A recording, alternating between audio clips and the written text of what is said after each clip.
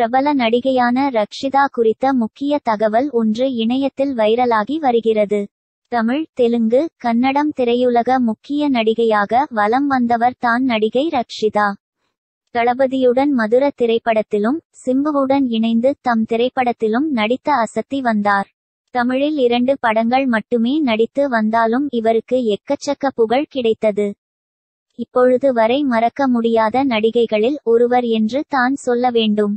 தமிழில் அதன் பிறகு வாய்ப்புகள் எதுவும் கிடைக்காததால் தலை காட்டவே இல்லை. ஆனால் கன்னட திரையுலகில் தொடர்ந்து முக்கிய கதாபாத்திரத்தில் நடித்துக் கொண்டு தான் உள்ளார். இப்படி இருக்க இப்பொழுது அவரின் கணவருடன் எடுத்துக்கொண்டு புகைப்படம் வைரலாகி வருகிறது. இதனை பார்த்த ரசிகர்கள் மதுர படத்துல எப்படி இருந்தீங்க? இப்போ இப்படி ஆயிட்டீங்களே என்று ஷாக் ஆகி உள்ளனர்.